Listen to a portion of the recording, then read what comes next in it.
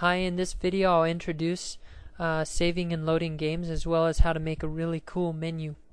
That's it, play.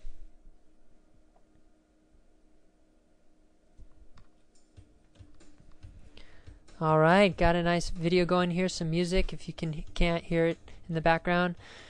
You notice I'll move the mouse on a planet and uh, the the word will light up and also some information about the planets will appear. Makes a really cool menu. Let's left click here and travel to the load game planet. I'll right click. Do you want to load your game? Yes.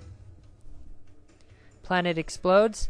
And here we go. I can load a game. I already have a game in here called test that I previously saved. And I have it under extension.save. That extension can be changed to whatever you want. You click OK. It reloaded the last game I saved. And now let's exit. And that's basically it. Take a look. I hope you learn how to load and save games and have fun doing it.